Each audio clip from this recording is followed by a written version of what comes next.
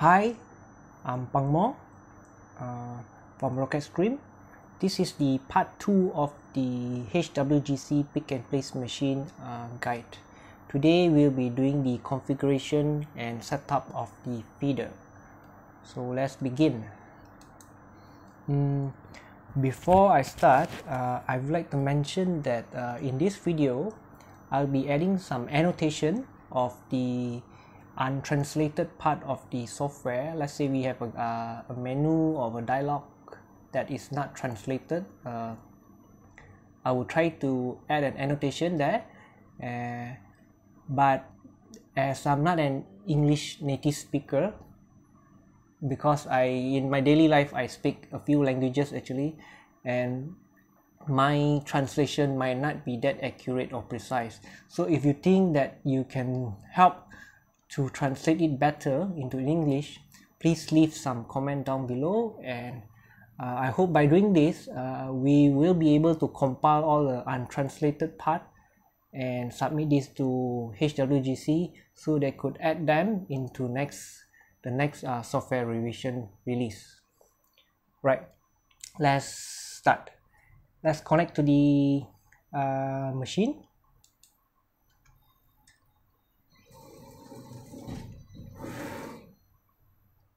then click on the create open dialog open project because we have already created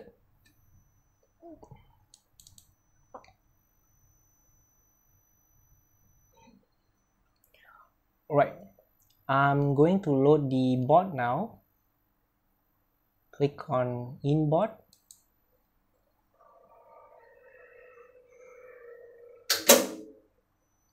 Right, and let's move the camera to the top of the PCB.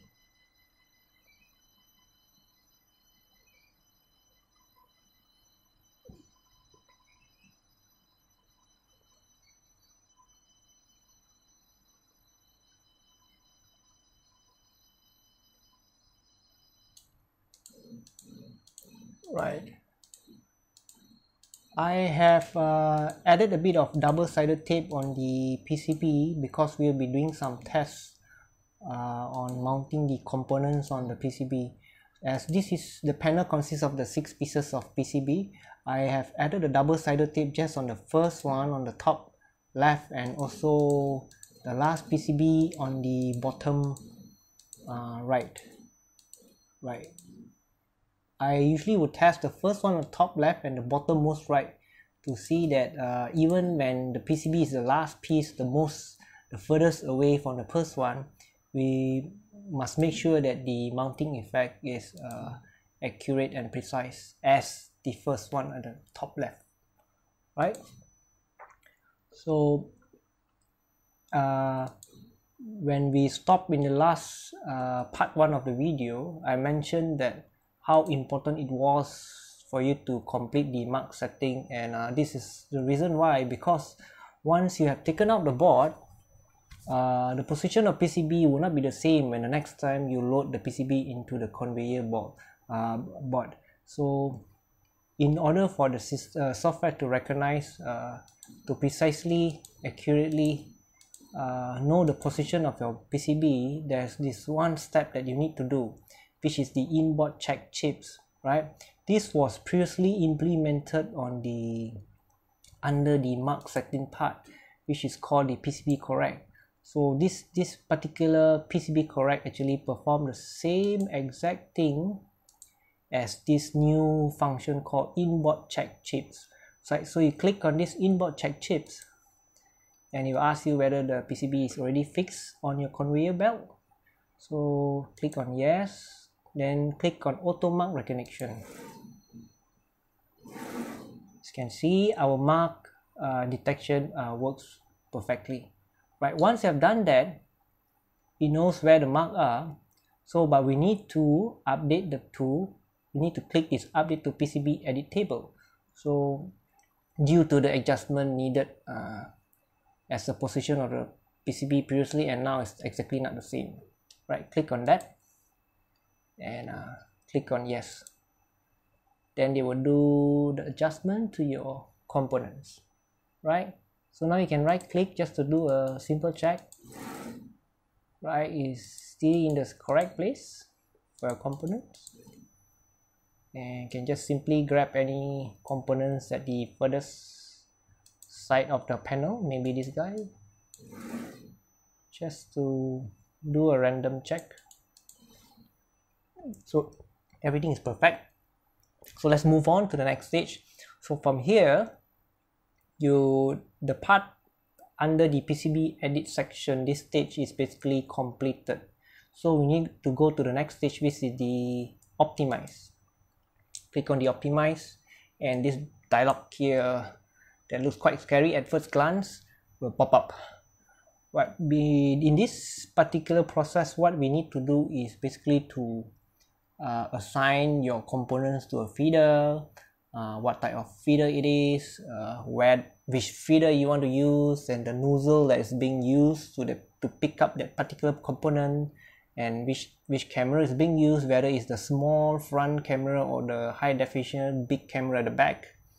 And also the visual is something related to the visual modeling that they use to identify your component. And this is another some mumbo jumbo kind of word loop mode i'm not too sure about this because i'm not a vision uh, pro. And low speed is basically just to make sure the the pick and paste process is happens at a slower pace. Height is basically the height of a component right? Before we do all that let's take a look a few things first. So the first thing that you need to set up is uh, the feeder slots and nozzle disable. Under this part you can disable or enable all your any of your nozzle if you decided not to use it for whatever reason. Let's say for example you have a damaged nozzle maybe at nozzle 4 so you can click it off and not use it right? So but we are using all four of this for today. And um, as uh, we are going to use a vibration feeder. Vibration feeders will occupy space on your normal pneumatic feeder slots so in this case a pneumatic uh, a vibration feeder actually takes up to five slots. I'm to install my vibration feeder at the back on the right hand side from feeder 46 up to 50 so i'm to disable those slots right? And let's take a look physically at the vibration feeder now. And here's our vibration feeder. So the vibration feeder takes up to five spaces of the feeder slot.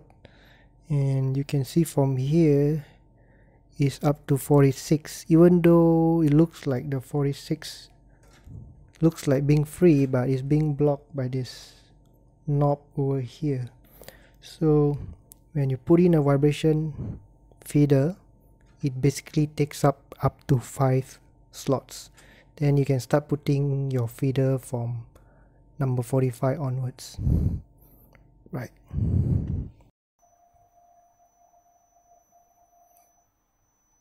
Okay so we are done disabling the vibration feeder uh, slots. So you can click on ok after that.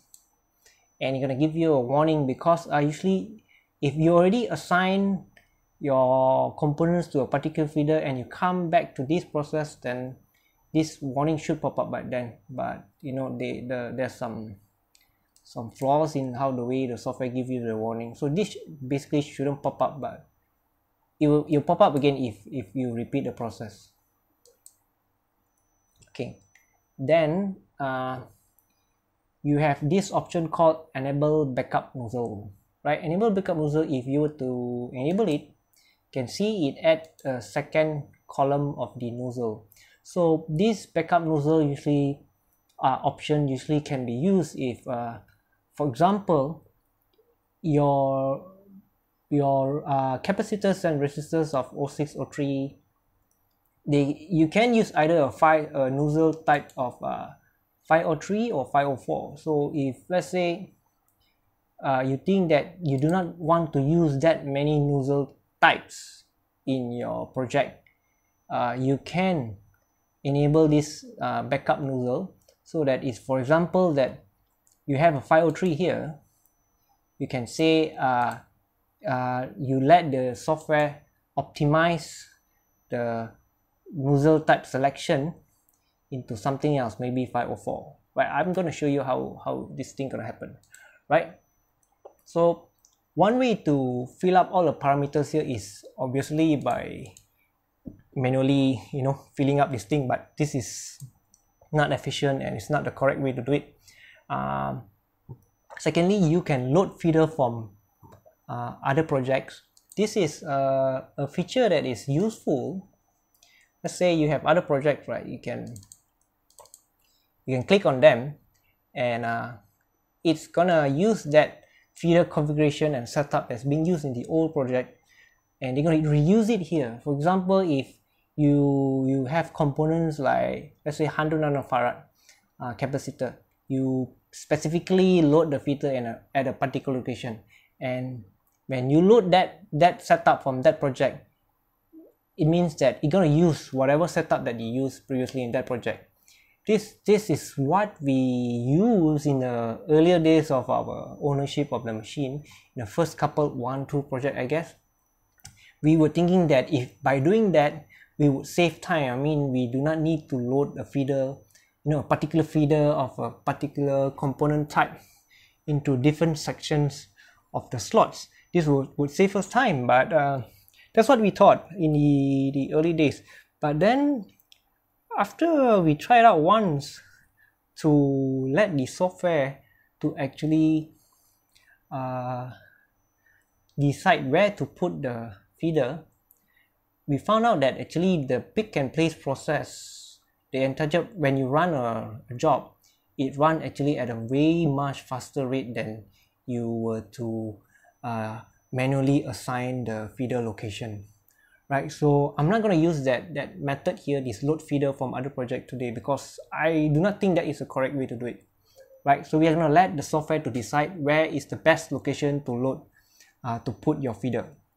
Right so and the third way is the new way basically that was introduced in this particular version of the software is I believe is the correct and the best way to do it. So the third way is uh, being used by clicking this from footprint library. So you can click from footprint library and again you're going to give you a warning. Do you want to update all the selected item from the footprint library? You can click yes, right? So with just one click, all the feeder are already actually being configured and assigned, you know, from its uh, provider to the feeder number and everything else. Right? I am not going to talk a lot about the the footprint li library or lab that's what they call it. But i'm just gonna jump into that footprint lab part just for the short description on how things are being configured from that side. So i'm going to close this dialog and jump into system setting and go into footprint lab. Right under this you can see that this is how does the footprint lab looks like. So by default when you install this new software is it's gonna have one single file here. Obviously you can create a multiple file if, if, if you think you want to separate them into those uh, default ones or those that is created by you so we have since uh, taken the original single file but I have subdivided into different categories into types of different components so it easier for me to to look for parts with different types of category right? Let's take a simple uh, take a look at the simple component. For example a resistor of 0603 so you can see you have uh, some configuration like your dimension. Belt color is your tape color. Uh, which is incorrect. It should be the tape color. It can be white uh, or black or your transparent type of uh, tape. Right? I'm not too sure what this extra chip in is uh, but yeah I have always since set it to zero. And this sync peak tolerance per mm I, I believe this is some a bit related to the old software. Uh, not really concerned us in this new software version I have always set it from for 0.3 to 0.4 about that but I never really touch it. And the rest of the stuff are like your camera. You choose the component to use either the uh, fast small camera at the front or the high definition camera at the back or don't use any vision system at all right? Then you have a visual type. This is the part that you need to select. Uh, they have some vision modeling that they use to recognize the components. Uh, in most cases I will use the standard algorithm there's also other type of uh, modeling like your SOT23 tree or some BGA or some um, other type of uh, different type of component. But in most cases standard algo works perfectly right? Then you also have the uh, this part. Uh, open loop is actually something uh, predates to their old software and is no longer being used basically. So and it will be marked as obsolete in the next release of the software. So please select at me at minimum closed loop of second order for most of your components. And closed loop of high order is only for your high defini definition cam at the back. So in most cases i will just select closed loop of second order. Right? Then other things are like your visual threshold. Uh, you can play along with this. A few parameters of this uh, later on. I will show you in the individual feeder setup. And there's also this part called init chip angle. I, I believe that this is to use for when when you have when you buy components in the reel right? Uh, for example Texas Instrument have the options of uh, uh, for your components to come in where the pin one location right? The orientation inside the pocket of the tape uh, can be different. I mean some some can then comes in uh, quadrant number one quadrant number two or quadrant number three it depends. So i believe this was the function to do it but when i try this function it doesn't work. But i believe they will they will fix it in the next future revision of the software right? Special scan rate is being used uh, if uh, the default uh, what I call it uh, radius of where you should scan for the component it should be bigger than the default value. I will show this again in uh, in the individual feeder setup later on. And there's a few other things like your character check this this i'm not too sure that this is the correct word to use characters. It should be more like dimension check i guess. Then you have the tolerance for that character checks. This is at 25 percent. But not all these are being enabled. If you never enable this that means all these are not relevant to you. And also your provider type by your feeder. You can be plate plate is your tray components in your tray and your vibration feeder. In this case we are using the normal pneumatic feeder. Then the feeder type can be any type of the cl different sizes of your tape. We are, we are using 0603 that comes in uh, 8 mm with 4 mm uh, component distance in between them in the tape pockets. Then again this is the peak gauge pressure offset per mm this is uh, uh, the amount of distance that you want the nozzle to go down further go down uh, on the feeder when you pick up the components. This is basically to apply some some sort of pressure when the nozzle goes down to pick up a common component. And the same thing here mount H is uh, the amount of distance that you want the nozzle to further go down to press slightly press a component onto the paste. So it would basically stick to the paste right?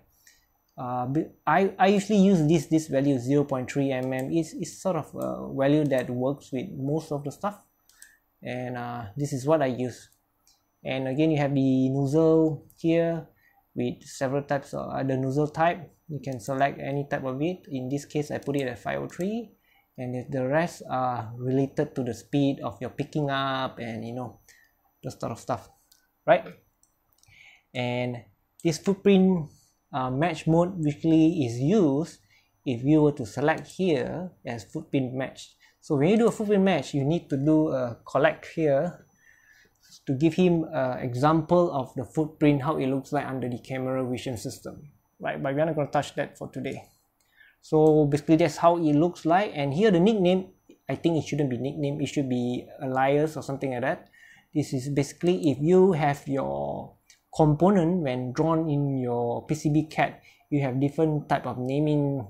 So these are those aliases that the software might look at and then will assign this particular footprint model to it right? Simple as that. Okay I'm gonna close that. Let's jump back into the uh, uh, optimize right? So once we are happy with this thing uh, I forgot here. So we did enable the backup nozzle. So for the 503 guys, I'm going to uh, enable it to use 504 if it's possible. So for all the 503 guys, I'm just gonna make an option of it being able to use 504. I mean, if it's required. By using less different type of nozzle in a particular uh, project run, it would mean that uh, your machine gonna run a bit lot faster as it will be able to pick up uh, more components of the of similar sizes at one go. So the rest I'm just gonna leave it as uh, I can't further optimize those other nozzle that is bigger. Right then you once you're done with that you're happy with everything click on the optimization. So you need to click the one on the right hand side here and then he's gonna show you the result of the assignment. So this is how the assignment looks like now. Right? And this is how it looks like from here. So the yellow ones are the unused and unassigned uh, feeder. Right? And let's and when there's uh, this I'm not too sure what color is this. It should be this is orange but this one is slightly light shade of orange. Uh, when when they put a 30 this this type of color beside a feeder it means that you're not allowed to assign anything here. I believe this is this feeder is a 12 mm or 16 mm feeder so it occupies basically t three slots. You put a feeder here the two adjacent slots cannot be used at all right uh, I forgot something. Uh, click back on the optimize. Uh, as I wanted to showcase how to use the tray also but I don't have any tray here but I'm gonna use this guy this ATmega 4808 I'm gonna pluck out a few of them from the tip and put it on a tray and to showcase you guys how to configure this on a tray. So I'm gonna swap the provider here into a plate. And this guy I'm going to auto assign it right? And by doing that then I need to click back on the optimization once more. Click on the right button and I'm just gonna optimize unassigned item and keep the rest as it is and now he has changed my ATmega guy from a, a CL16 into a plate. Right? The rest is the same as it is. And you might have noticed that they are still keeping the slot here as it is because I have only optimized unassigned feeder location.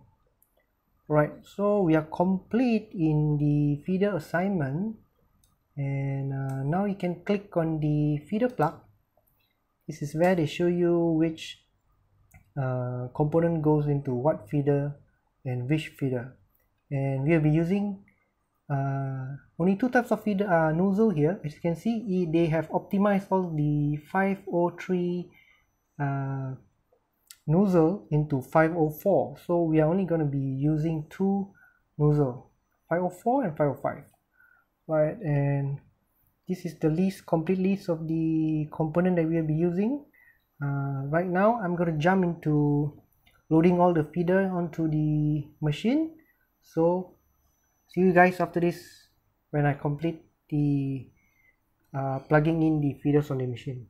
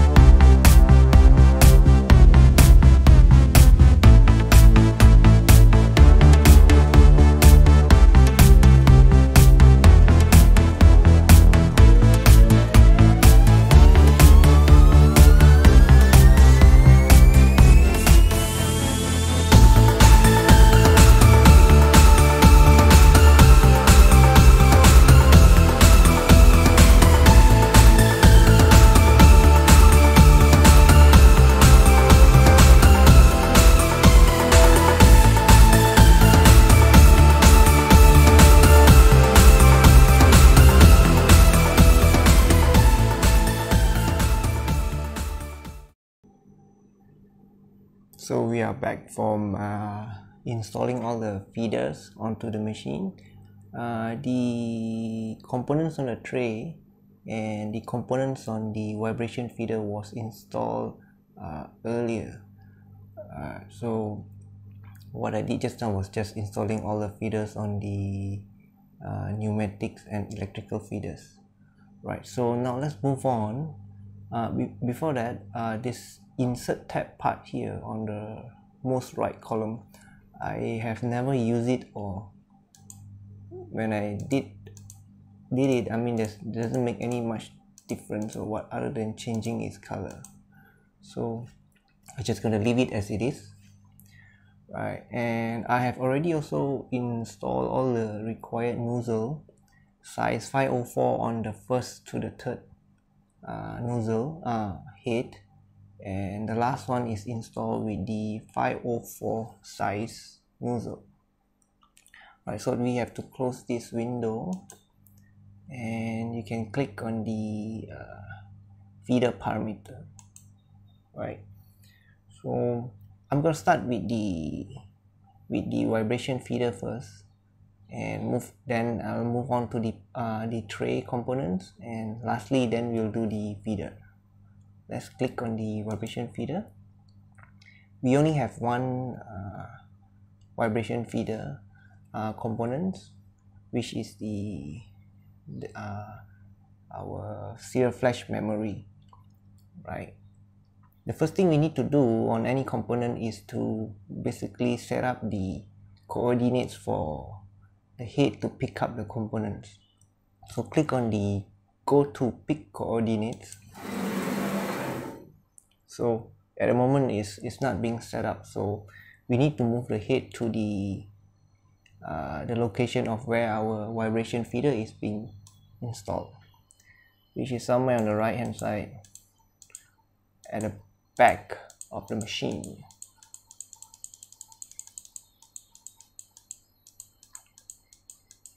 Right move it. Can see all the other feeders are already being installed. Okay we are somewhere around there. Let me check. Uh, E I think that is the component that we are looking for. Yes.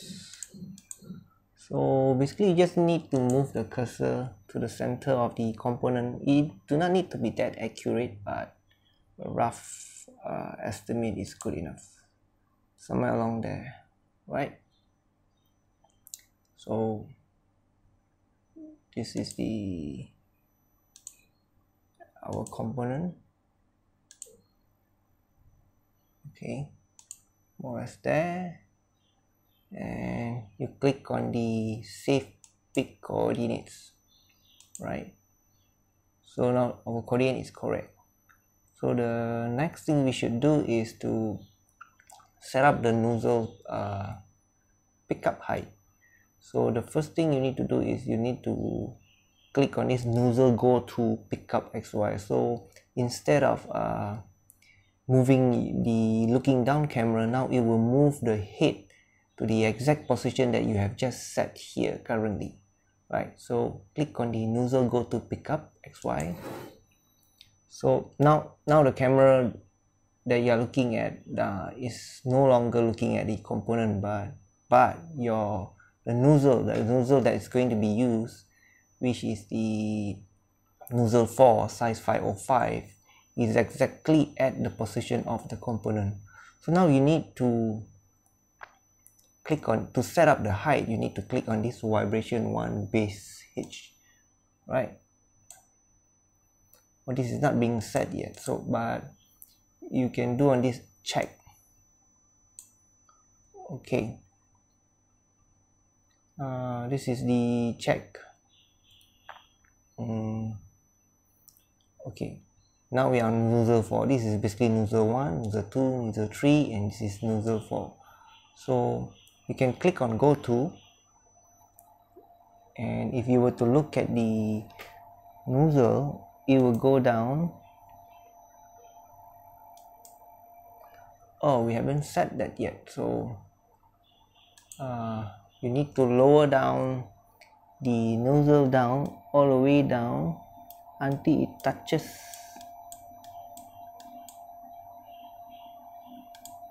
Your IC right once you have done that then you can click on save right as you can see the height now is being changed. So once you're done with that you click save you can close the dialog. Right as you can see there's a change of uh, the height here. Right based on that. There's another way of doing this with this uh, new uh, software revision is basically to use this vibration one base height. So what you do is um, you need to set this set up this height right so let me pull a nozzle up first by clicking the zero. Okay so I'm gonna go to the pickup coordinate bag right? I'm gonna set up uh, the height of the the uh, of the vibration feeder base as the plate here. Usually this is uh, more or less the height of your components of any components in the vibration tube. In generally I mean unless it's some very tall uh, maybe a connector or a tantalum uh, capacitor or something like that. So I'm gonna move my I'm gonna move to nozzle go pick up height first but then I'm gonna use manually I'm gonna jog the head to move slightly to the metal part of the vibration feeder right? Then I'm gonna use the again I'm gonna use the uh, gonna move the nozzle down until it touches the vibration feeder the metal part right once you have done that you click on the save height okay? And I'm gonna close it. Okay but now this is uh, the offset which is incorrect in this case now. We need to change this value. So what is the height of our component? Our component is 1.75 right. But offset is the value of that you want the nozzle to go down further once it reaches the uh, the component. So basically I set around the value of 0.3 right? So we do again we do a check. But first we need to move to the we need to pull up the nozzle up first. Don't don't don't move the head without pulling up the nozzle that will, will damage the nozzle itself then click on the nozzle go to pick up xy and then you do a check here right? Click on check and uh, click on go to. Hmm. as you can see now the head has moved to the correct uh, height to pick up the component right? So and uh, there's a few more settings here the first one is this uh, this this this part is the uh, the speed of the nozzle going down to pick up the component. Usually I will set around 50 the maximum is 64 so 50 40 to 50 sounds like a pick a nice value to set. So usually I'll set amount about this this kind of setting 50 50 and this is usually I put it slightly about 30 more or less that uh, then this is the pickup setting and uh, you can after that one is done then you move on to the mounting setting right? So before we do the mounting setting there's one particular parameter that you need to do. So click on the system setting here. Uh, not system setting uh, device calibration. So it's under the fixed parameter. We need to uh, set this if you haven't set haven't done this. So let's let's take a, a a look at uh, whether this is actually being set. I believe mine has already been set but let's go through it once more. So you need to move the head uh, to the PCB area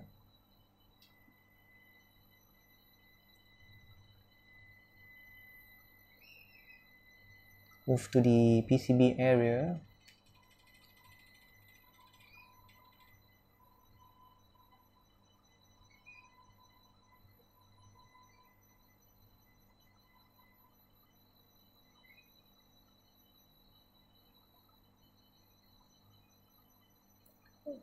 Right. And usually I would choose a, a board in the center of the panel.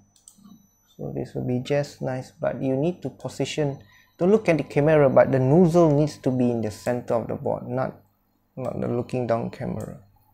Right so if you were to see now our head is more or less in the center right? So now you click on nozzle 1 and click on go to. You can see the head now lowers down you need you need to check whether the head is actually just touching the PCB that is what you want it to be right? So our nozzle one is okay. So click back on zero it'll go up. Mm, and click on nozzle 2 now let's check on nozzle 2 then it should go down to I think this one is a bit high. Oh no it's correct. And pull the nozzle up. And we proceed with nozzle 3 as I said I think I have said this earlier. So then move to nozzle 3 and you click on go to just to check on nozzle 3 that is correct as well. Pull up the nozzle and check the last nozzle number 4 that is correct as well. As you can see the the amount of uh, distance that it goes down it should be just nice. I mean not to the to the point that where the spring on your nozzle is being compressed. So when you're doing that i mean uh, you're not doing it correctly. It should be just nice. Right and we gonna pull up the nozzle.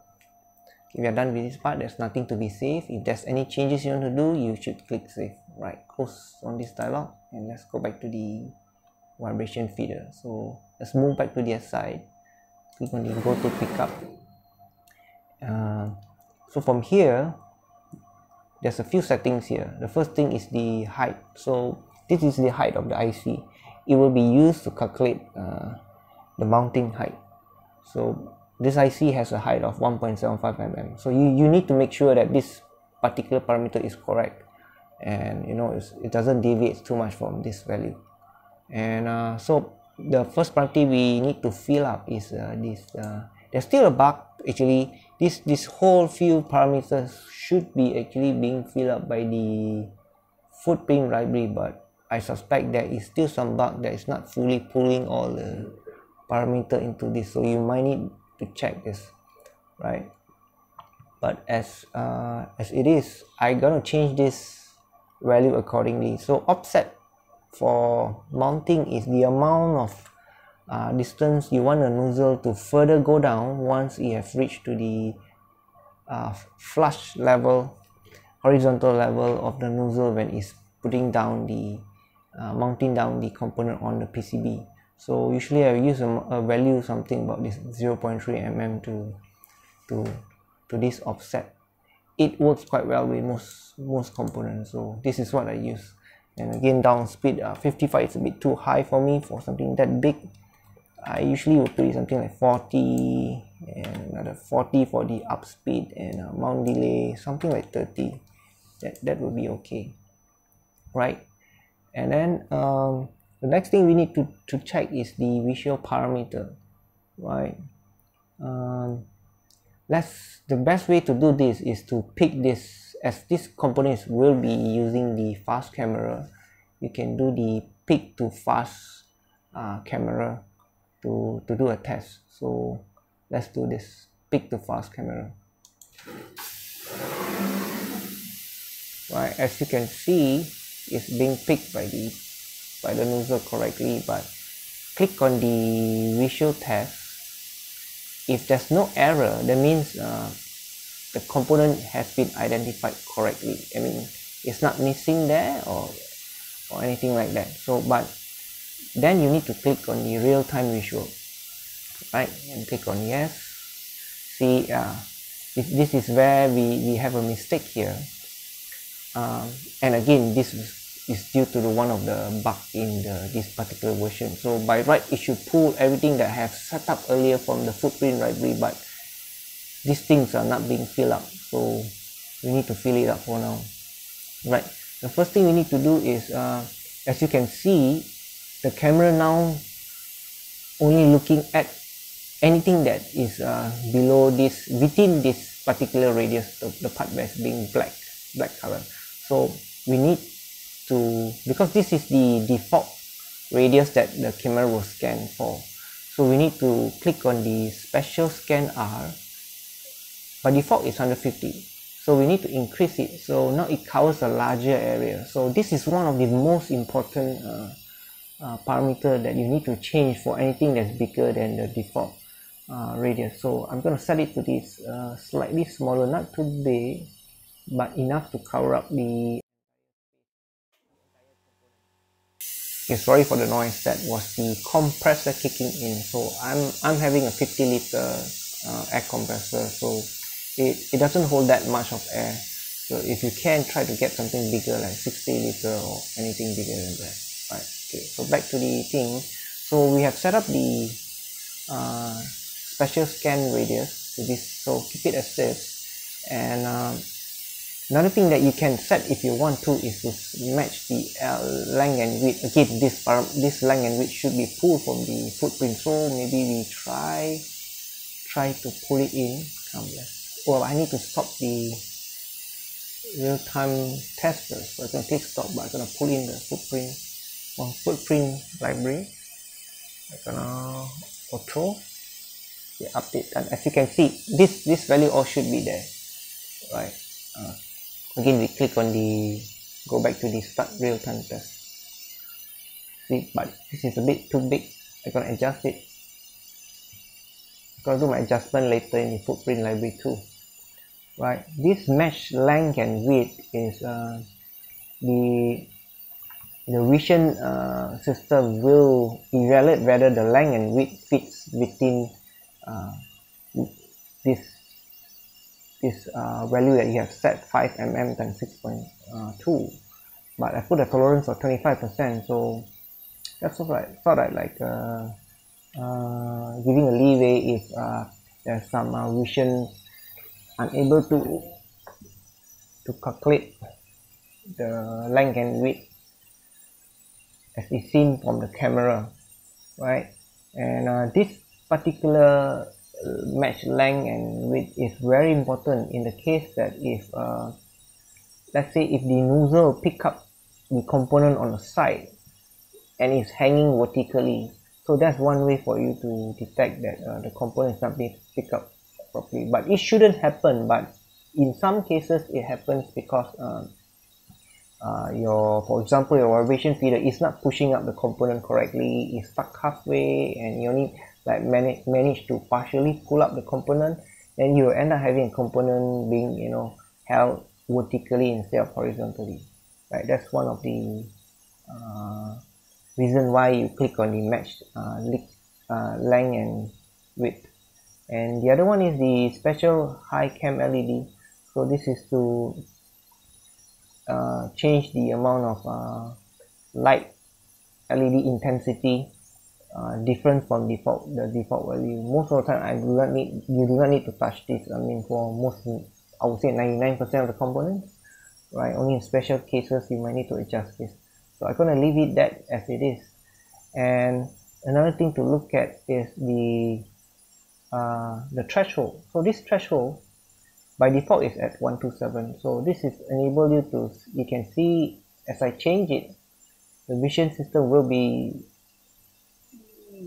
what how it is uh, decide the shape of the component depends on this value. So the value of 127 is a pretty good value to begin with. So usually I'll just leave it at 127 and again but this also depends on the component certain component needs some some value changes on this. Right as it is I think we we are good on this. The vision system managed to detect. And I'm gonna stop the real-time uh, visual test. And I need I'm going to throw this into a bin into a location that I have already set up on the machine right just click on throw and it will remove the component from the nozzle and put it at a place that you have set up. Right. Once you have done that basically this component has been already been set. Right and you have other setup like the cam led parameter you can adjust. But we're not going to touch that for this part. It's not needed. Right but i'm going to do a, a placing test for this particular component right? So this component just just close this particular window for now and we will move back to the list of the component on our PCB you can click on um, the array order is what our default uh, how the component is being listed. When it's being group order it, this is when it said group order it means that uh, this is the group of component that the head will pick up at at one time. It means this is uh, yeah it'll be picked on user one two three for this one batch. And for the next batch you're going to be picking up this the next these three components and so forth. But usually I like to look at it in on our default PCB component list. Right so let's take a look at the component that we want which is this uh, let me take a look. Mm, we need to look for for the first panel on the top left. So it should be yeah I found that guy. Right so you can right click let's let's take a look on where the component is first. So go go to so there it is at the correct location. Pin 1 is here right? So you can right click on this part and do a S chip SMT test. But you have to ensure that all your setup is already being uh, set correctly. Else it, sometimes it's going to be quite dangerous especially if your nozzle is uh, being set at the wrong height or wrong position it might poke to somewhere that is totally wrong. Uh, right? So let's try that. Right. So that was very quick. I guess one of the reason okay but our pick and place was accurate and you know spot on but there's one thing that I would like to change because the machine was moving way much faster than I like. There's one thing that I forgot to set up is the click on the SMT run. See at the, at the moment it's running at uh, at 60 the maximum is 64 so usually I'd like to run it at something slower something like 40 that that is what I'm comfortable with because uh, the machine currently is being uh, is on top of a custom built uh, table. Is a is a stainless steel 60 kilo table that I made. Uh, it's not that uh, that uh, steady and rigid because I didn't bolt it down to the floor and it, it has also a caster wheel that can be adjusted to become a permanent. That means the wheel won't move around. But still it is not that uh, as uh, sturdy and rigid as you were to put the maybe uh, the machine on the table on the floor itself right? So I, I gotta set it to 40 so that's the value that I'm comfortable with right? And you need to disable back the edit so you will not be accidentally editing it right? That's a, that's a nice feature actually. So go back on the PCB edit. So as you can see our component was correctly mounted exactly at the correct place with the correct orientation of everything right? Right so let's move to the the second feeder type that we want to configure which is the plate or tray right? Uh, the first thing we need to do is basically to generate the uh, pickup coordinate. So you need to click this pickup uh, pick coordinate xy list right in this step we need to tell the machine where are the locations of the chips to be picked by the nozzle. Right so now we need to move the head towards the area of the tray on the machine. Right I have a JEDEC tray installed here mounted on the machine using the mounting fixture provided by the machine alright. This is a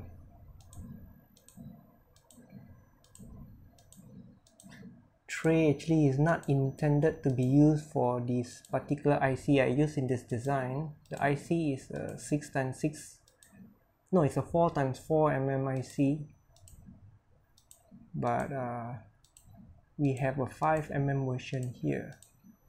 So because I don't have the IC actually in this tray format they will pull up from a from a reel actually right? So um, as you can see I didn't put the IC the first piece of the IC on uh, on the most left uh, position most left column here.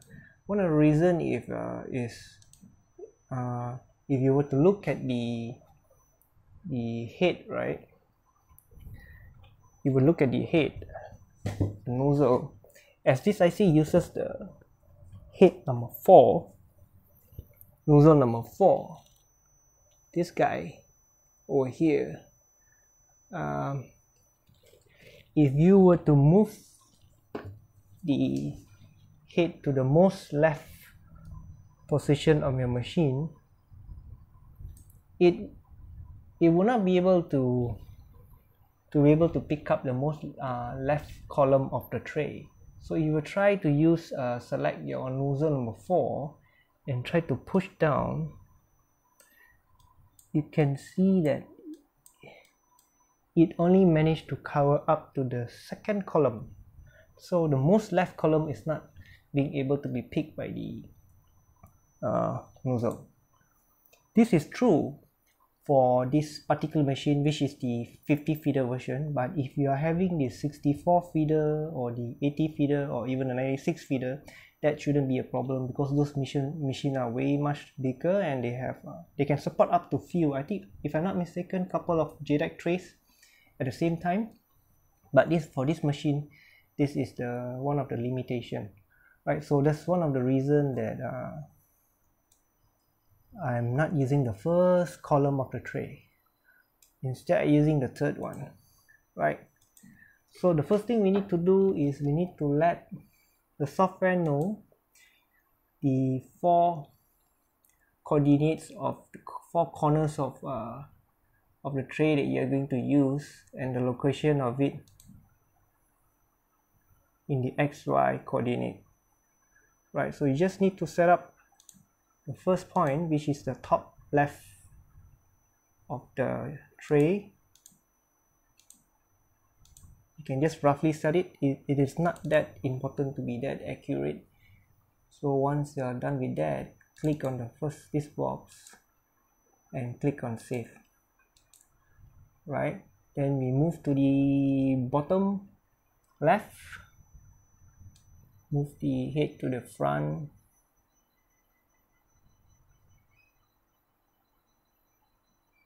which is this guy. I'm I'm creating a 10 times 10 uh, tray configuration. 10 columns and 10 row. So again we just need to set the center of the it's not the center of the IC but basically the center of the the what they call it a cup cutout that holds the IC right so that roughly is the center you can click on save. By clicking this particular box first and click on save. Then we move on to the right hand side bottom.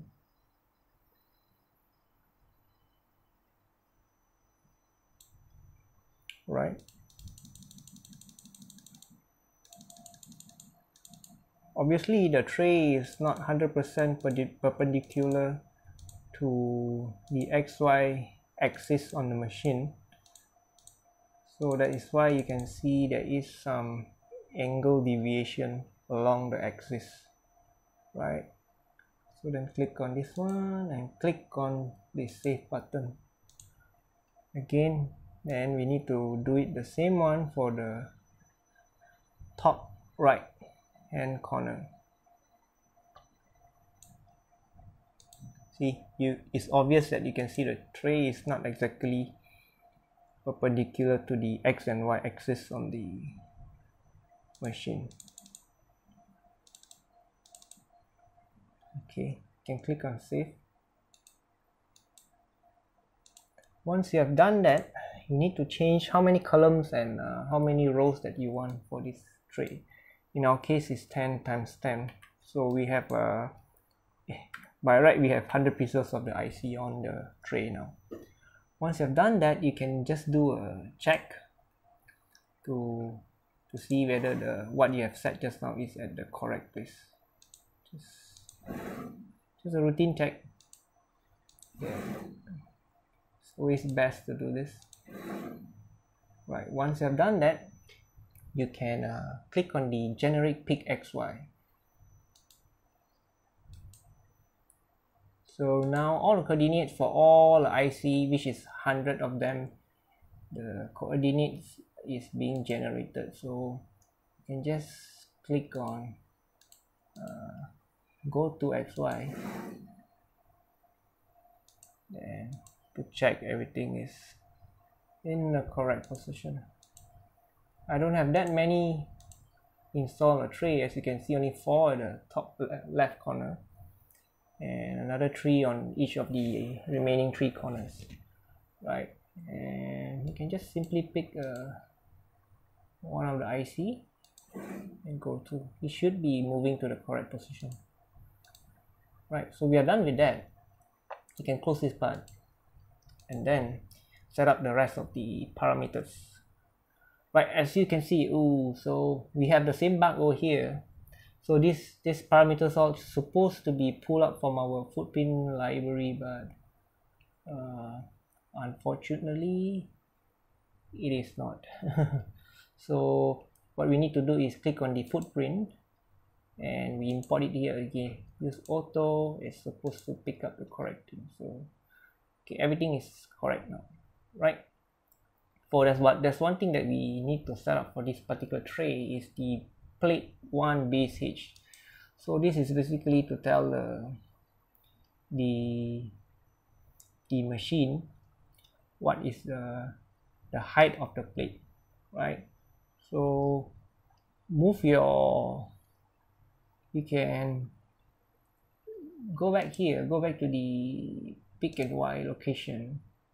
Just select any of the coordinates and just go to nozzle go to right. So now your nozzle is exactly at the location of one of the IC or pick pick one that that has an IC that that is better.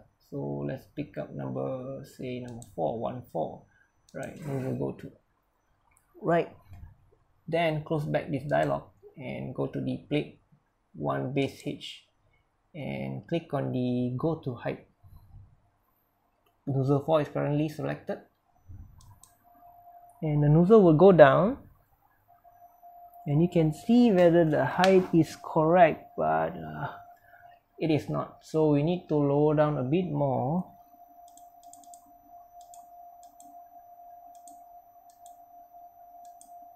Right. Somewhere around there. So then you can click on save height. Right. And close. As we are not using any other nozzle for this tray for this tray component. So you do not need to use this function called synchronize to other nozzle. If you were to click on synchronize to other nozzle this value will be populated on the rest of the nozzle right? Once you have done that don't forget to zero your nozzle to pull it up back right? So that is basically what's being done. And uh, as usual the offset is the amount of uh, distance you want the, the nozzle to further travel down once it has reached the surface of the component. And the down speed up speed is basically self explanatory uh, I for this particular co component because it's a bit more uh, fine pitch so I slow it down down to 30 for down and up speed uh, to 30 and have a peak delay of 20 right? That is for the peak Z setting and uh, for the mounting. And again I use the same parameter of 0.3 as I use in the vibration feeder component.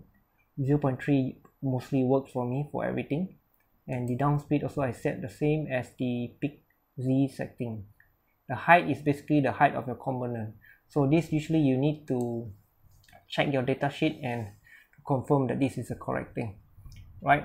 So now what we should do is we should try to pick up the component and try to look at it on our camera to see everything whether it's right right? So click on the pick to fast camera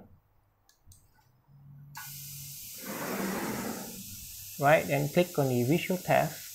Okay if there's no dialog pops out that means uh, it managed to detect the IC that something is there but we need now to analyze the the component right? So you need to click on the start real time. Right. So as you can see our component is being detected. We can detect the edges of the component correctly. But uh, our special scan radius is slightly bigger. This can be made slightly smaller. You do not need to be that big right. As long as cover covers and slightly extend a little bit extra that that will be great. Right. Then another thing is uh, you should click on this visual debug. Uh, warning do not click this visual test button because that will crash the software. I, I think there's some right okay. Again the air compressor kicks in to refill. Right so don't click this visual test. That will crash the software. Okay now you can click on this image here and it will pop up. Uh, some important parameters. So we are supposed to be getting an exact 6 times 6 mm but you can see there's a small deviation of 0.1 so what we should we do here is in order to be this uh, visual recognition process to be very accurate right? Because we have a 0.4 mm pitch here so 0.1 mm is quite big I mean compared to the pitch. So what you can do here is you try to adjust this threshold. This threshold value is used to to decide how much it should be I think it should be a bit less compared to the standard 127 as you can see then we are nearing closer to the 6 mm border right? I think guess I guess so. 100 is a value that is more suitable for this particular guy. Maybe due to the color of the pins is slightly different compared to your capacitors and resistors right? So I consider this is the most optimized kind of setting for this particular IC but one that is done you can close this right? And everything should be okay. Click on stop real time and close this dialog and we can throw the IC to the designated area. Okay? Once we have done that what we should do is we should do we should try a, a, a real pick in place of the component. But uh, so we're going to choose the same one the first first PCB here. Let's the first top left PCB right and we're to mount it here right? So the position is correct. Uh, let's try to pick it and see whether it works. Pin 1 is in here right? Okay.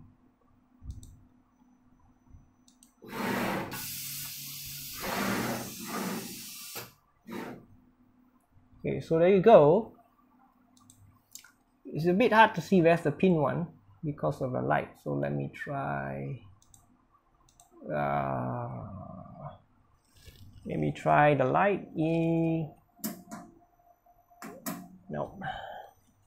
I think pin 1 is here but our pin 1 is supposed to be here okay I, I know what what what went wrong right here supposed to be zero degrees so which is correct uh, this is the exact uh, orientation that we put on the tray which is correct but uh, unfortunately the footprint that we drew in our in our KiCad footprint library right? It it it was drawn was drawn quite some time ago before we draw start using the pick and place machine. So back then we always you know practice that pin one must be in this particular uh, what they call it the first quadrant but in fact i mean in when you are using a pick and place machine that is totally different. I mean uh, it it depends on what is the orientation of the ic on your tape or on your tray. So the tray both the tray and the tape has the same exact orientation of pin one of the ic but unfortunately our footprint was being drawn by us in a wrong position. So what you can do here is we can so what we need to do is basically rotate 90 degrees clockwise. So what you can do here is you double click on the guy I see here. So the angle here is zero but it's supposed to be 90 right? So you the 0.04 here accounts for the the uh, what do you call it? The adjustment made by the machine uh, due to your PCB is not exactly perpendicular to the uh, conveyor belt right? So you don't touch that 0.04 just leave it as it is but you add a 90 degree to it right? I'm gonna add 90 and click on save here. So this is one way to do it right? Save. Save. And it will ask you because it knows that this is a panel. When you modify one chip it's the rest of the chip should be following the same thing. So I'm gonna do this. So and it will be applied across on the panel. But but let's let's click on it. Modify all array chip right? So it will do that. But you must remember that the first PCB on the top left is not being mirrored. But so these changes are only apply on the PCB in the same orientation. To all the PCB on the left hand side the first column of the panel right? For the second for the second uh, uh, column which is being mirrored it is not being applied. Right? So we need to take a look at this guy again. Click go to. You see it by itself by default itself it has a 180 degrees uh, what do you call it um, angle. Right? Uh, but in this case what in we need it to be is uh, it needs to be mm, we need to change it by minus 90 right? So we need to apply the same thing. So if this is different if you were to click here and change the angle over here is different compared to you change over here. Why? If you were to change uh, from here see you can manual fill or you do this stuff right from here. You can use one of this shortcut it would work but it will only apply for this particular component. It will not prompt you any any dialog to ask you to apply across the entire panel. So if you want to apply across the entire panel so what you need to do is you need to click on this dialog and change it from here. So as we are going to minus 90 so this angle will be uh, wait I'm, I'm a bit confused here. Uh, zero yeah it should be should be minus 90 actually should be minus 90 right? Click on save and it will ask you again modify all array chips. But this is on the mirrored PCB so it will apply across all the mirrored PCB on the second column. Okay. So that that should be enough uh, but what we can do is let us try on the bottommost guy over here which is if you were to scroll down is the last PCB on the bottom left bottom right uh, and it will be this guy. So just try to click on the go to. Okay we are in the correct position. As you can see it's being applied here so minus 90 degrees and let's try to do a pick and place on this particular chip.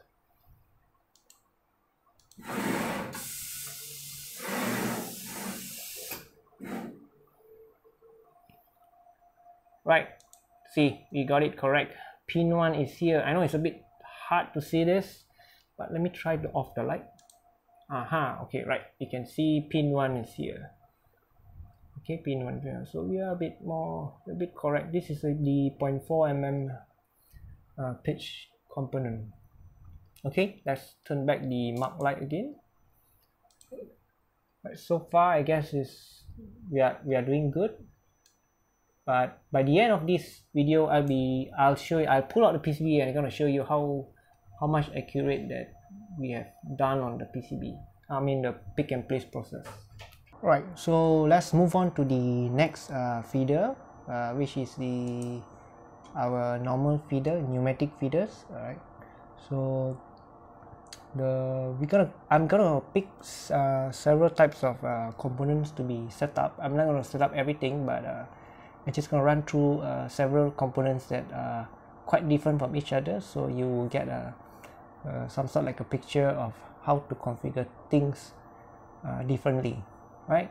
So the first feeder that I want to choose is the WSON 10 package uh, this uh, IC so again you can see the all the parameters are not being pulled up pulled from the the footprint lib uh, during the video optimization process. So but I have figured out that uh, by clicking on this footprint lib button over the bottom here you would be able to basically pull every single uh, footprint lib parameters to all the feeders. So I'm gonna do that. As you can see every single components uh, parameter being pulled from the uh, footprint lib or library and being applied here. As you can see the value has changed. Now it has a proper height has a proper dimension and uh, several other things right? So the first thing we need to set up is the uh, pickup uh, pickup location. So the first thing is to click on the go to pick location right? And uh, with this particular new revision of the software version 8 it has a feature that I really like and I think it's very very helpful in uh, uh, setting up your machine which is the automatic correct pick uh, coordinate XY so click that one right what it does is basically it will find the location of the pick the pickup location for all the feeders. Right uh, there's a few several uh, things for you to choose here. One of it is the tape color. You need to select the correct tape color. So in this case our tape is black color. So click on black. Right and uh, you can enable the autosave. So whenever the pickup location is being figured out by the software you will automatically save the pickup location right? So I can enable that. Then you can click on the stack 6 feeder here because we are currently at uh, feeder 6 so as you can see has uh, managed to figure out the center of the pickup location. So this is basically the the result is already being saved automatically right? But you can click save if you are a bit paranoid like us. Yeah, there's an option of this uh, correct all also so this function is usually very important if let's say you you have uh, done this project before you have closed it and then maybe after further few months you want to run the same project again.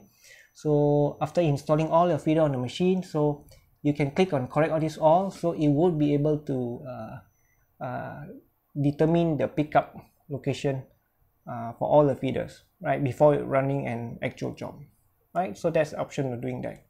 So once one is done you can close this right?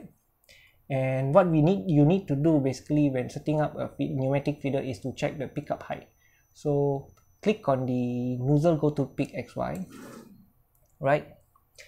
Uh, so now now the nozzle e is positioned exactly at the peak peak location.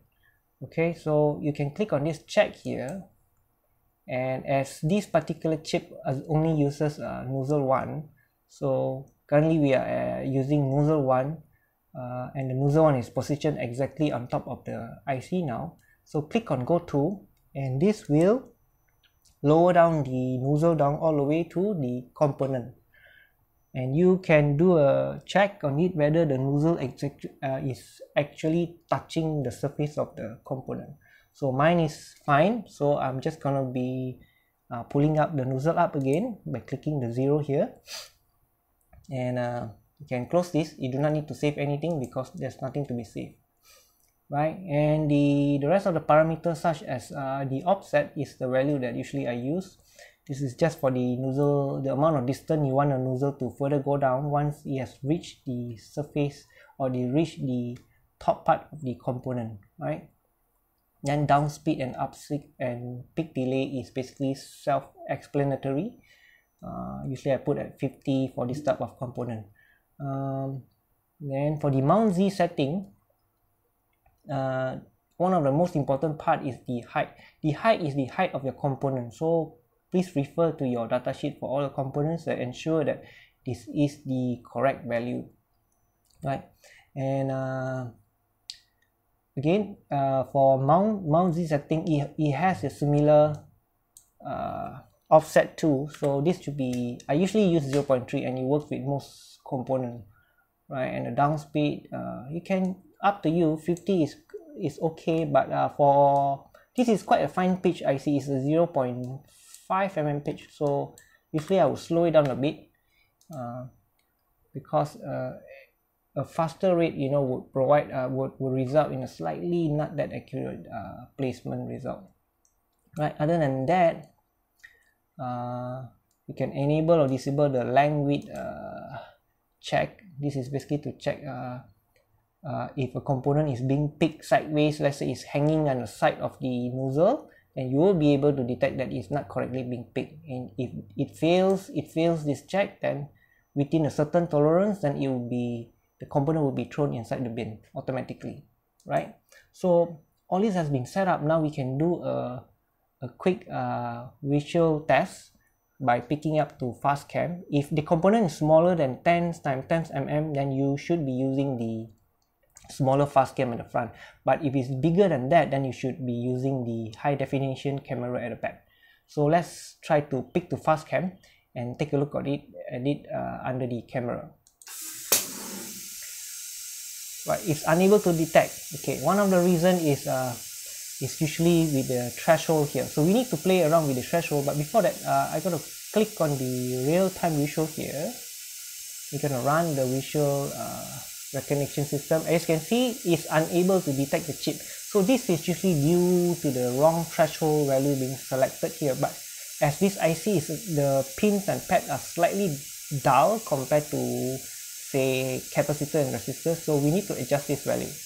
Right uh, you can click on the visual debug right and click on this image. This will pop out and it will give you some very important parameters here like the chip and the angle deviation the rotation and so forth right? Then you can start playing with the threshold value play around with it until you get close to the dimension that you want right as you might be aware that uh, the chip is actually a 2.5 times 2.5 mm but uh, we are really close, quite close at the border where the the top and bottom part of the IC the, which is the plastic part is is unable to be detected properly. If we were to reduce further down then we, we might run into it detecting the nozzle itself rather than the body. So I guess a value about about 80 about that is is okay right? So this is where you should stop adjusting the threshold value. So now we have managed to detect the IC properly.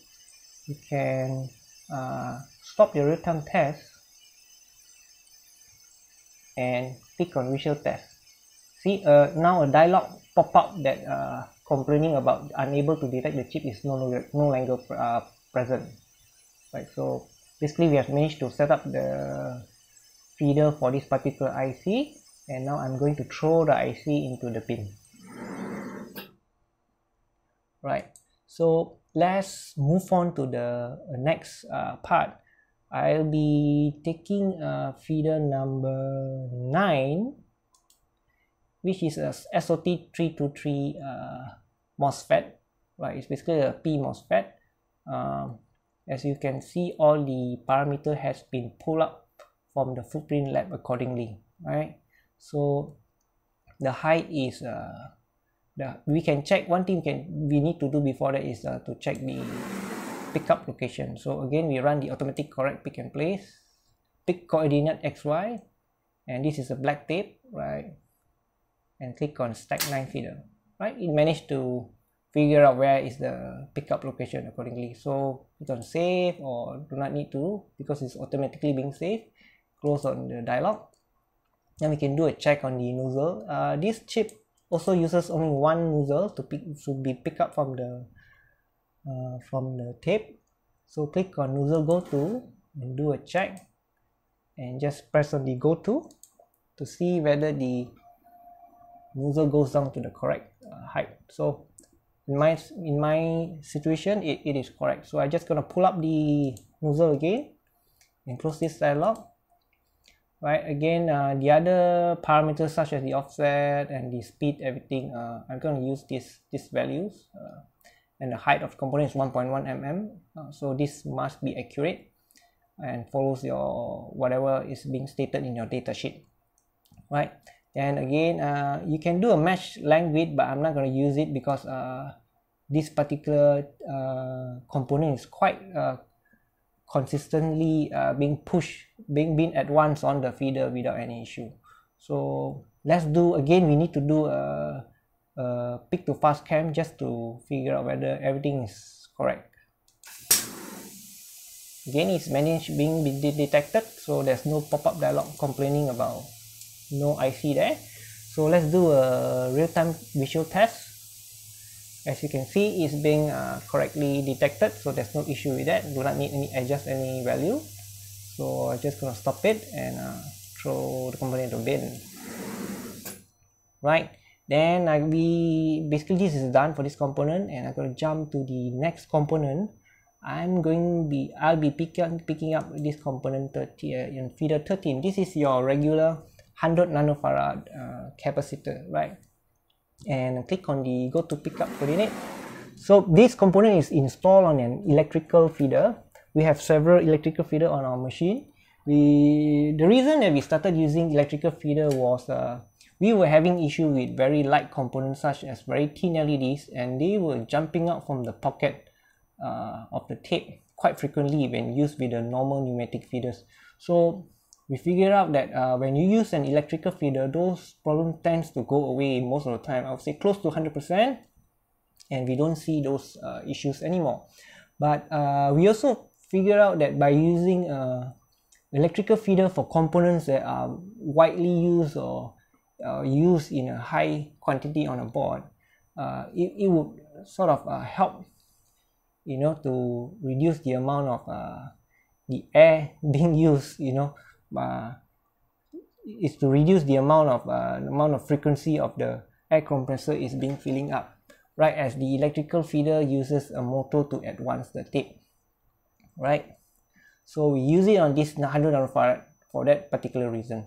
So again we can do the apply the same uh, same procedure to this particular feeder. Click on the automatic correct pick coordinate xy click on feeder 13 so we managed to detect the tape color is white remember? Right. Close it.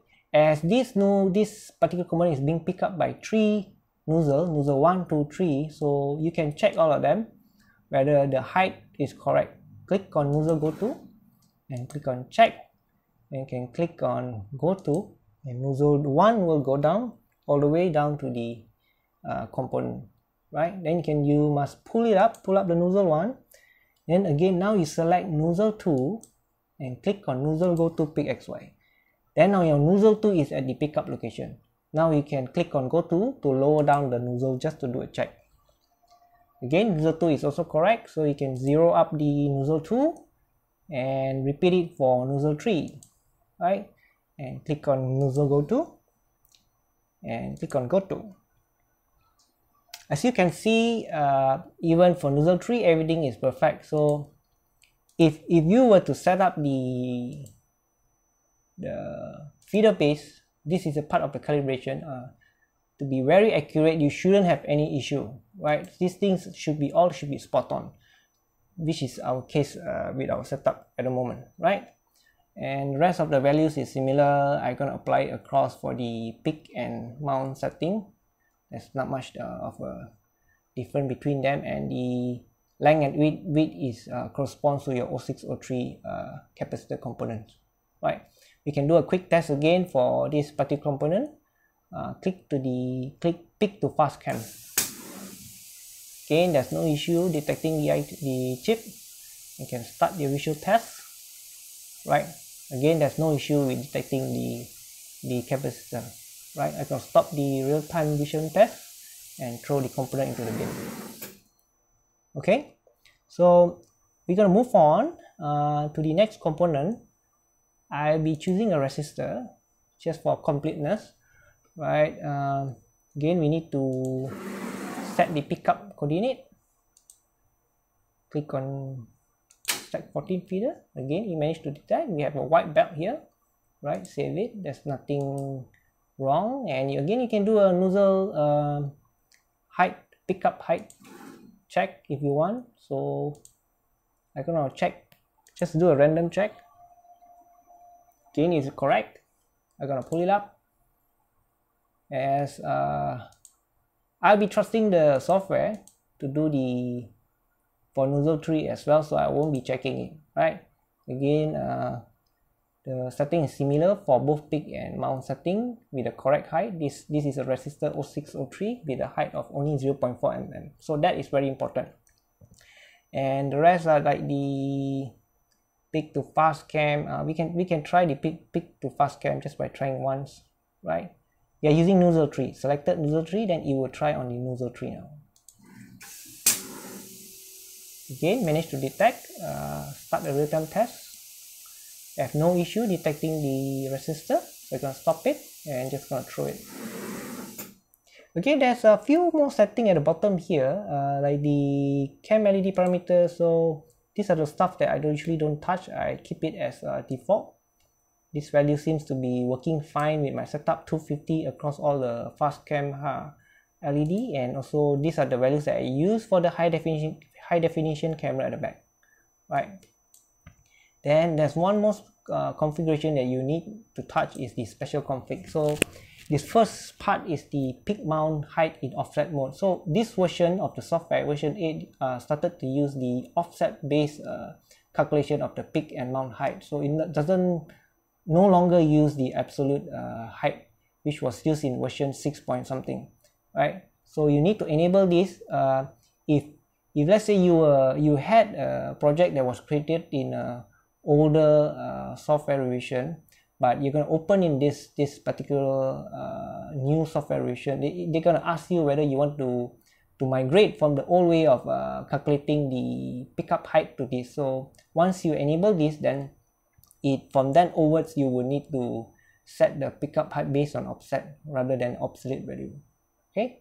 So the next option is not to open vacuum at once. I have never used this before but i can uh, assume that this is useful for let's say components that are easily being uh, sucked. Let's say maybe they are very light. So they only open the vacuum when once the nozzle is exactly near at the component pickup location. This is what i i think it it, it can be useful right? And the last part is the back feeder auto run 100 degree degree angle. So this is useful is used when you have feeders being uh, installed at the back like in our case so you need to enable this and uh, it will automatically uh, add the 180 degrees uh, uh, rotation because now the feeder is being installed at the back. So enable that if you have the feeder uh, installed at the back. Click on ok right again going to give you a warning because the because of the we have enabled the peak cage based on the offset. Right just click ok okay so then we're going to move to the one more component from the front side of the feeder which is the uh, diode. This is a SOD 323 diode it's a Schottky diode. So again repeat the same stuff. We are going to set the pickup location. It's not an issue for him. Black tape remember here. Right so I'm gonna do a check also on the height uh, it's big it uses three nozzle for this particular component so you can check for all three or if you trust the software you can always skip this part. So click on nozzle 2 and I just gonna do a nozzle go to again and click to go to. Okay the height is correct zero. And we'll click on the third nozzle and click on nozzle go to and lower down the nozzle. Right the height is also correct so everything is on. Okay uh, we can try to do a pick and uh, a pick and check under the camera. Okay let's do that. Okay it looks like it's not centered but don't worry about that. Click on visual test. There's no error dialog. Click on start real-time test. Okay it managed to detect the chip strongly. Right so i can stop the real-time test and click on throw okay we basically have covered most of the most common uh, components that use on most design. Let's do something more uh, what do you call it uh, less common. Uh, let's start with the LoRaWAN module installed on the feeder 31 right this is a slightly different component. Uh, that's the first thing we need to do is basically to set up the pickup location this particular chip uh, is uh, is mounted on is installed on a 24 mm reel. So this is the first time we are using a 24 mm reel. So let's try to set up the pickup location. Uh, basically it's on a black tape right? It's not translucent. Okay I think the algorithm to detect the center for bigger component is still pretty much still in works and it's not that accurate I guess. So we have to manually set up for this guy. Remember we the center needs to be the center of the the pocket and it's not the center of the chip. So roughly set that up. So it should be more to the left. Yes. Yep. And one two three four. One two three four. So I think we are good. So we can click on save. Uh, then the again the the rest of we can check the height again for this chip. Because I'm not still sure whether a 24 mm feeder has the same exact height as your other type of feeders. We can do that. So this chip only uses nozzle 4 so click on nozzle go to and click on the check and click on go to to lower down the nozzle again uh, there's a slight difference in this particular 24 mm uh, nozzle. So we need to do some adjustment to the pickup height by lowering down the pickup height. Then click on save. So those adjustments are being made right? You can see it's no longer 0.3 but it is now 0.61 okay the rest as this IC is quite big I have slowed it down a bit to 30 30 with a peak delay of 10 again the height is important which is uh, 2.5 as accordingly from the data sheet. And then we need to do uh, let's let's try to do a, a pick to camera but this guy is bigger than 10 times 10 mm so you need to use the the uh, high definition cam at the back. So let's try to do that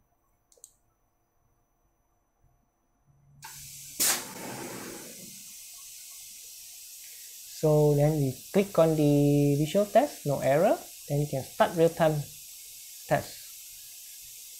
Right you can click on the visual debug and click on the image. And you can use it bigger for it to easier to see. As you can see uh, try with a smaller one to ensure that okay the yellow color line of the radius. Right that was the compressor filling time again right uh, the yellow color line indicates the radius where the vision system will check for the component. So it seems to be okay, the special scan radius. Uh, you can lower it slightly smaller. Right, it still fits. Remember, it must fit. Uh, and we're giving some a bit of allowance on the side. Okay. Then once you have done with that, click uh, on the size tool could, so you could easily see the component under the vision system. Right. Um, then you might need to adjust this but I think it it is fine. The chip is about this size. I think it should be it should be closer to 12 I I've noticed that the this particular module was specified at 12 mm to 12 mm but when I use a vernier to measure it it was slightly larger than that. So I think we need to increase the intensity a bit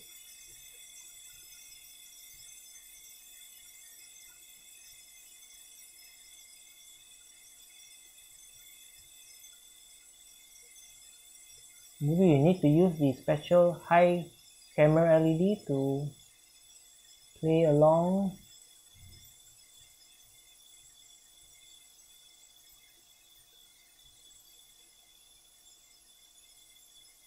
Maybe about that and let's play with the threshold.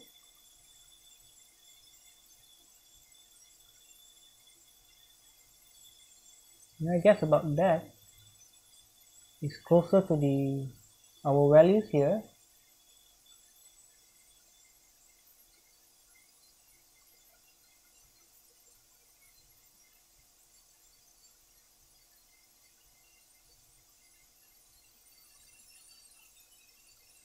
Right? I think that's pretty okay or we can play with the LED a bit. It needs to be slightly brighter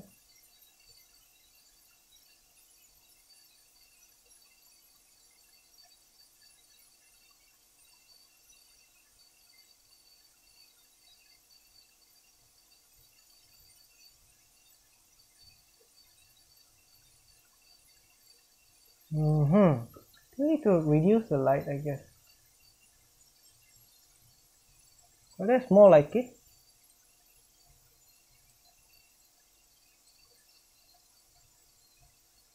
Yeah, I think that's more like it. I'm gonna stop it here and uh, be done with it. Right, stop the real-time test. And I'm gonna throw the IC into the bin.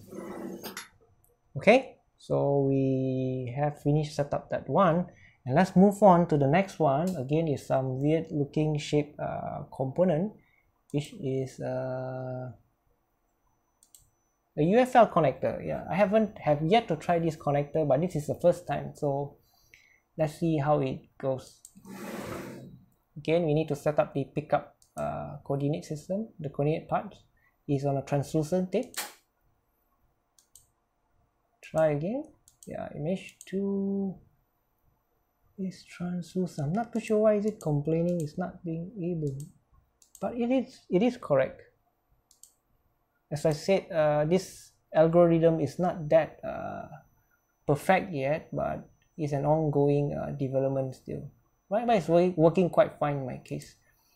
Again you can do a nozzle check if you want to just it uses the nozzle number 4 only. Click on go to. Again the height is correct. Uh, I'm not to do any changes to it. I'm just to pull up the nozzle up. And again the rest of the setup is similar as the rest of the guys. And we're just gonna do a pick to fast cam test. Again it is being detected. No issue. Start the real-time vision test uh, we need some adjustment here I guess on the threshold. Because as you can see the green color box tends to rotate a bit so because it is uh, having a bit of hard time deciding which part is which. So you can lower down a bit. So I think this looks fine now. Right so that is done. But I'm not going to do the match length width because disable it uh, special scan radius should be should be more or less there. Right I just can make it slightly smaller. Okay. Then uh, that should be great. So I'm gonna stop the test now and throw it. So I'm gonna move on let's move on to the next one which is a non-symmetrical component which is the text switch. So let's take a look at this component. Again to repeat the same stuff uh, setting up the pickup location. Again no issue. So let's do a nozzle pickup height check.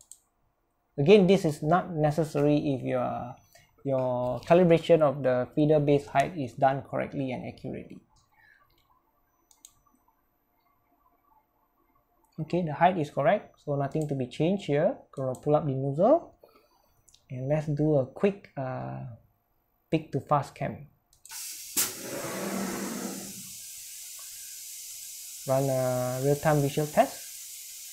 As you can see uh, we need to change the uh, radius a bit bigger. Okay and then we need to play a bit on the the threshold because currently it's not detecting the the top part of the the switch right? Just more like it.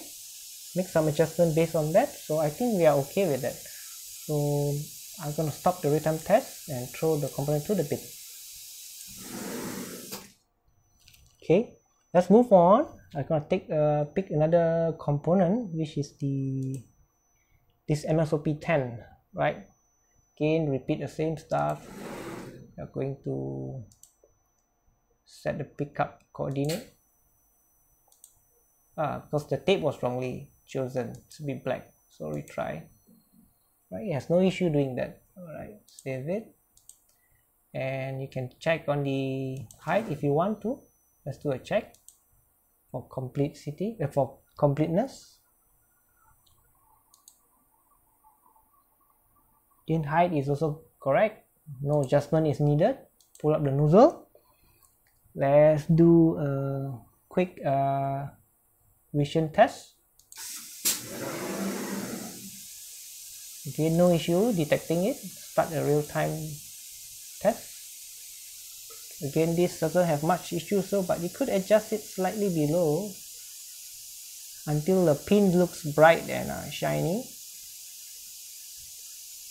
Okay I think that looks fine now. So you can reduce the radius a bit. It's not that big I see. Okay. And that's about it I think for this this IC so I'm going to stop the real-time test and throw the IC to the bin right again that was the compressor kicking in right? Remember get a bigger air compressor right? So I'll, I'll be setting the one last component which is the JST-PH connector here. So this is a pretty big connector uh, and has also have a quite high height here 5.5 mm. The machine can do all the way up to 7 mm but I haven't tested it up to that limit right? So again we set up the location of the pickup uh, is on a translucent tip as you can see able to detect. Then uh, you can do a nozzle check if you want the height check. We let's try that. Okay that is perfect right? Pull up the nozzle. Again we can do a test under the vision system. This again this part is slightly below 10 mm 10 10 mm so we can use a smaller camera in the front right. Uh, click on the start real-time vision test. Again everything is okay. So um, you might want to slightly reduce so you can have that shiny look on the pin. That looks better. Right other than that the scan radius is correct. I'm going to disable the width match again. It's not needed in this case. And I'm going to stop the real-time vision test so I think so far we are so good. So we have managed to set up most of the feeders on this project. And uh, we'll be moving on now to try to do a mounting test on those components that we already set up. Right we have uh, mostly completed the pneumatic feeder setup. Now we're gonna do a, a pick and place uh, test on those components that we have already uh, completed the setup right I'm gonna use the top leftmost PCB on the panel. So we are going to go from the left to the right. So it's easier for us to look at things from that perspective. Right let's take uh, let's take for example this tech switch. Right the tech switch is labeled as SPNO which is this guy over here. Right so let's do a pick and place uh, test on this particular component.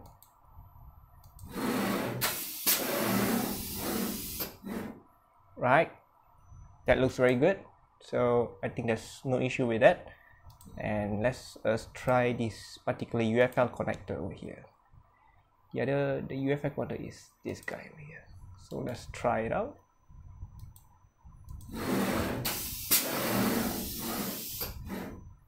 aha.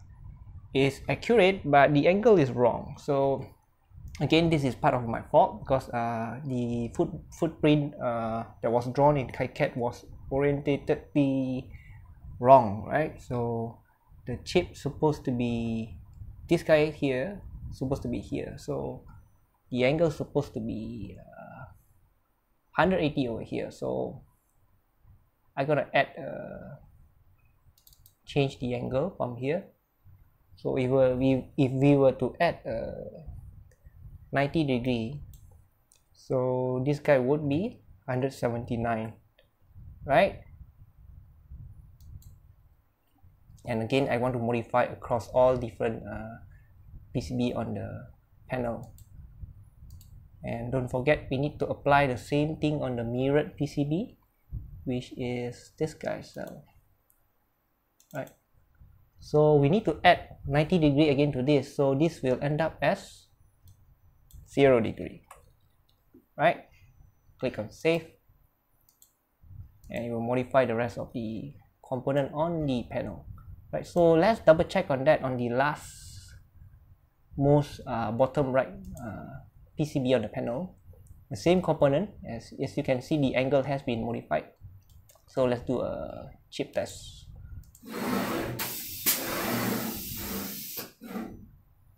and okay there you go. So that's correctly being mounted.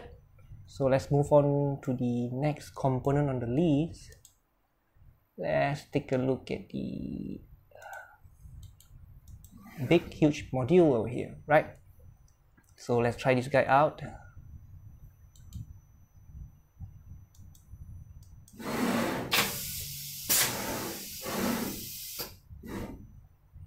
so there you go. That is a quite huge module over there. But again the angle was wrong. Uh, this particular module made by the rising high high frequency the module doesn't come with any sort of uh, documentation on the tape and reel information. So I was assuming that pin 1 was here. Uh, but again I, I was wrong. Right. Uh, so this is the outcome. So I need to rotate this guy by 90 degree right? Mm -hmm. so we are going to do a add up a 90 degree to this guy. So that should be able to correct it. No no I'm supposed to double click it. So I'm gonna add a, a another 90 degree that means it'll be 179 right. Again I can apply it on the mirror guy which is this mm -hmm, this guy. So this guy is 270 again is same. We need to make it into zero. By adding 90 this will become zero degree. Right again we can try it out on the last PCB on the panel most bottom right. And do a chip test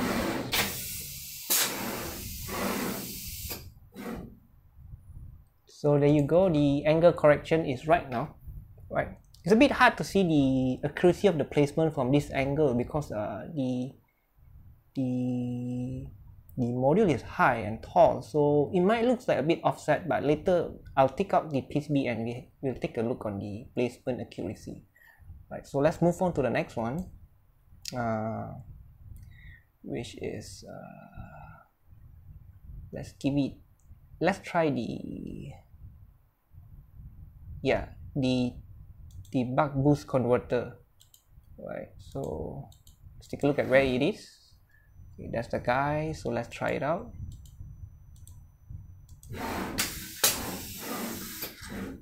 So there you go.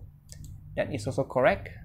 Turn off the light. But this chip is a bit hard to see the point one pin one but uh, it is correct yeah. The pin one is here somewhere here and the orientation is exactly matched.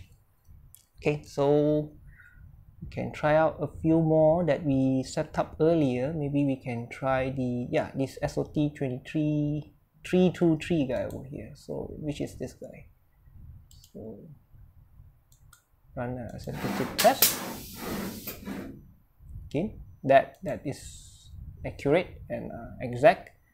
Nothing wrong with that guy. And let's try out these few uh, SOD 323 diodes so we have uh, three of them. You could maybe just try one or two of them and see. This guy is this guy. Right. Let's run a cheap SMT test. Right again that is spot on.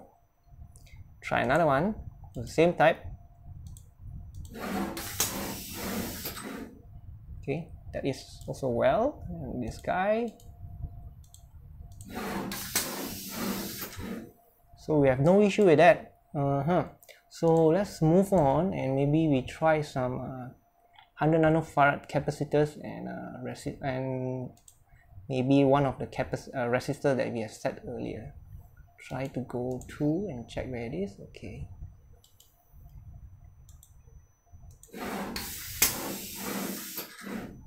Right that looks exactly where we want it to be. Can try another guy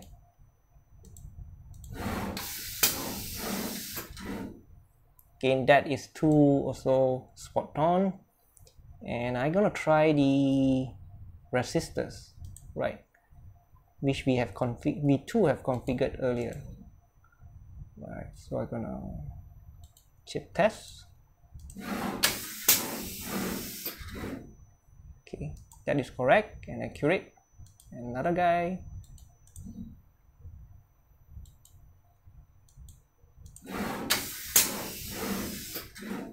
again no issue. So let's move on to this particular uh, MSOP 10 chip which is the CH340E USB to serial converter.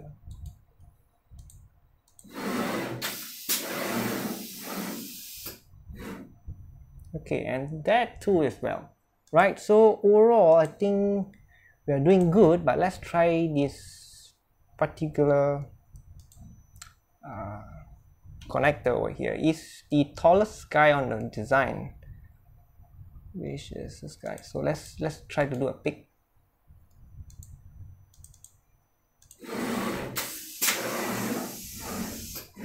aha we got the angle wrong again. Again we started using this uh, connector ages ago way way before we got the machine. So the what we drawn on the PCB cap was again was wrong. So uh, basically we need to uh, rotate the rotate the connector by 90 degrees. Okay? Um, yes we're supposed to rotate the connector by 90 degrees. Because over here now is minus 90 so this is uh, exactly wrong. Supposed to be 90 so I'm gonna change this.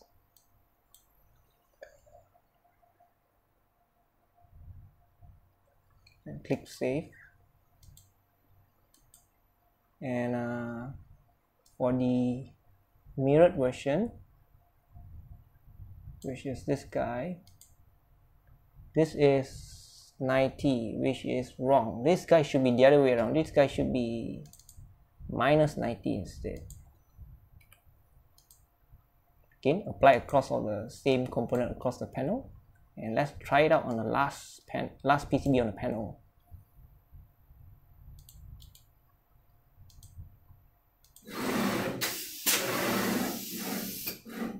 So there you go.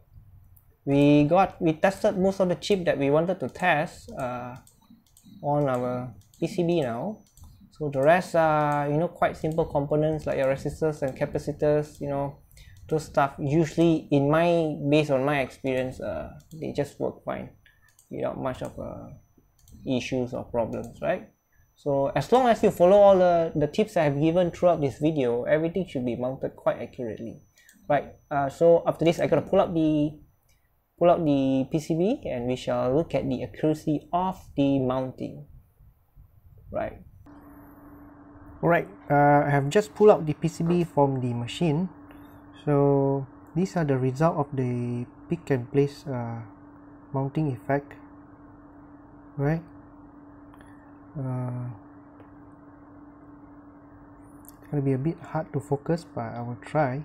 Okay, let's start from the component from the left hand side, right? And we move towards the right.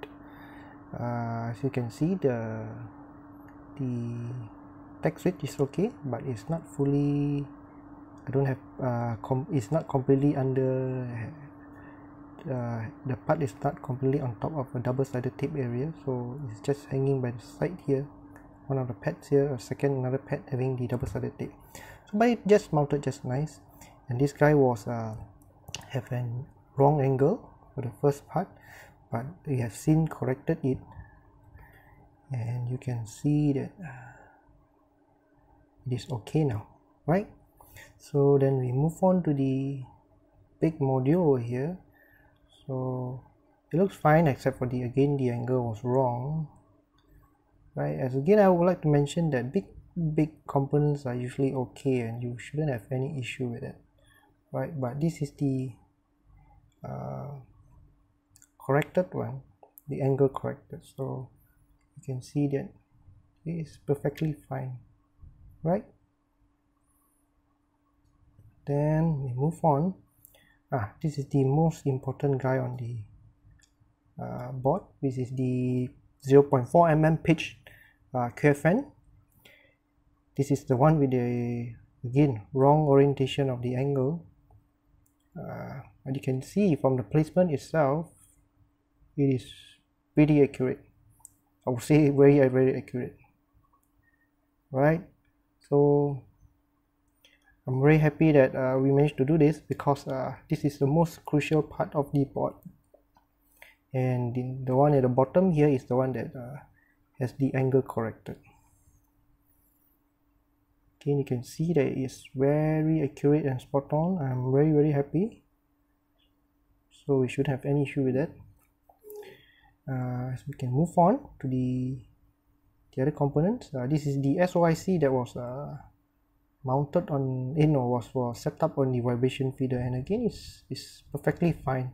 Usually the big big components shouldn't have any issue. Angles is correct and uh, accuracy is spot on. Right then you can see also the others uh, these are the 100 nanofarad capacitors. They are just perfectly being placed. And you can see the resistor R2 06 0603 resistors. And this is the 0.5 mm pitch uh, WSON and that guy too is uh, very accurately placed. So I'm not having any I'm not gonna lose any sleep over this. Uh, and the the SOD 323 is also mounted uh, accurately together with the SOT 323 right? And lastly you can see the MOSP and MSOP 10 and if I'm not mistaken is uh, having a point 065 mm pitch that too is being placed accurately. Both the pin 1 is also correct right? And this guy again we mounted it wrongly. Uh, the angle was uh, not right due to the footprint uh, drawn in the KiCad in the wrong direction.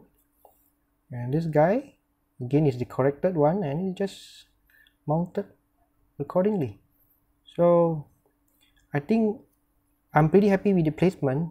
So I didn't mount the rest of the component on the, on the board. Okay this one came out right? The rest of the component on the board. But those will just work just fine you know, normal resistor capacitor inductors you know and SOT 323 or SOT, uh, 23 all those shouldn't have any problem. And even this large big USB-C type connector yeah they'll do just fine right so I'm very happy with the placement output.